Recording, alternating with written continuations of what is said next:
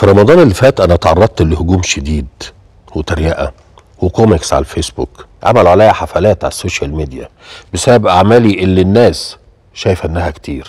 ووصلت التريقة لحاجات تشبه بيومي فؤاد ناقصه عشان يبقى فنان شامل إنه يأذن المغرب.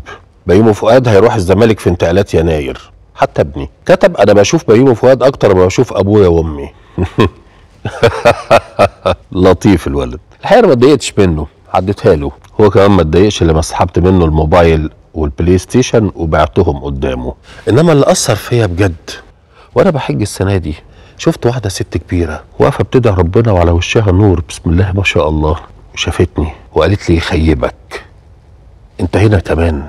ففكرت قلت عيد حساباتي. أنا فعلا عملت أفلام سينما عملت مسلسلات عملت إعلانات وإذاعة عملت مسرحيات بس وأنا بفكر اكتشفت إن أنا ما عملتش برامج.